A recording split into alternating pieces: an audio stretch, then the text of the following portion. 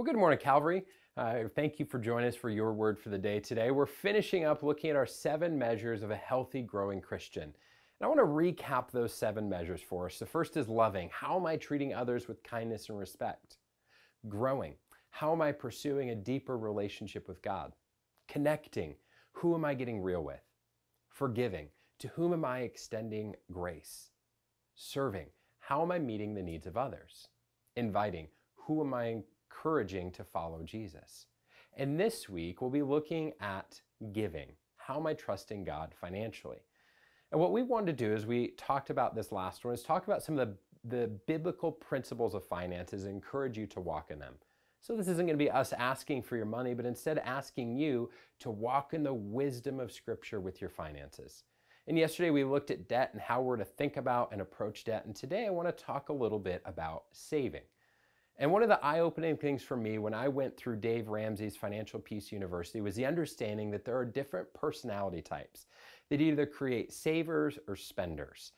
And nearly everyone in our world falls into one of those two categories. And I am definitely a spender.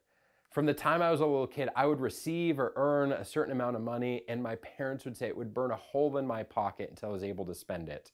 Immediately, I could say, What can I buy with that same sum of money? and it would usually be spent in hours, days at the most. I would find ways to spend it and get rid of that money.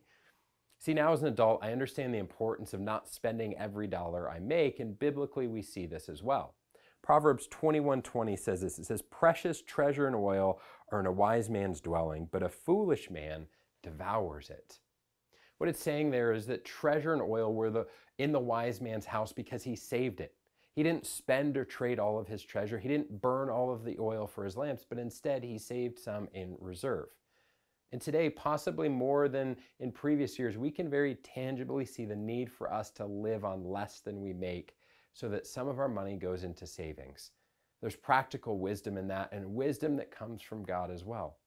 So let me challenge you to make a budget, which is just planning how you'll manage the money that God is trusting you with, and make sure that there's savings involved there because only a foolish man devours all he makes. But today I pray that you would find wisdom and live in the principles of God and be prepared for the future by saving and planning for the things that are ahead. Hope that you have a great day, Calvary. We'll see you next time.